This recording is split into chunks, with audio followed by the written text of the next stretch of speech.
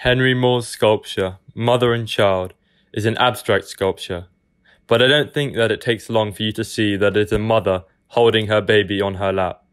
It is in a small alcove at the east end of the cathedral, underneath a huge window. That means that the light is always changing on it, maybe suggesting the passage of time, the circle of life. Babies grow up and have their own babies. What I like best about this sculpture is the material it's made from. It is marble, travertine marble, I think it's called. It is covered with tiny holes all over. This is because the stone is formed near fresh water, and the water would have run through it. Like blood runs through all of us, making us living and breathing people.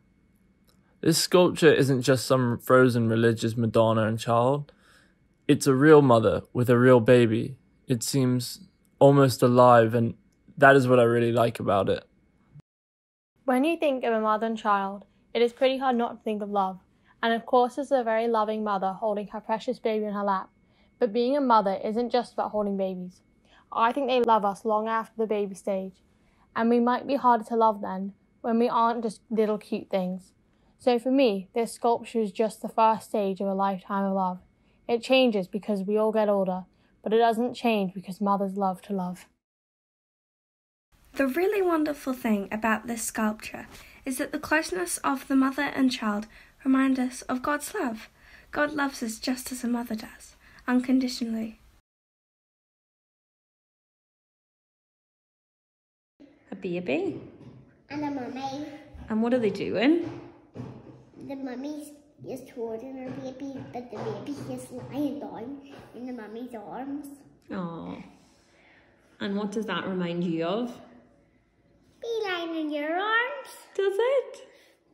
What kind of mummy do you think she is? You. You think she's like me? Mhm. Why? Because you're kind. Oh, thank you. Do you like it? Yeah. Why? Because it looks like that one's you and that one's me. You think it's me and you? Do you? She's like you. She's like me? Why? And because I think she's nice. You think she's nice? I think you're nice. You think I'm nice? Thank you. So do you like that statue? Do you like that sculpture? Why? Can we go again? You want to go see it again? Why do you like it?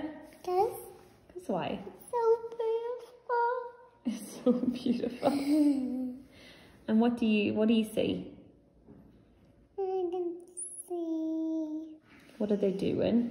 Uh, the really They're hugging each other. Yeah?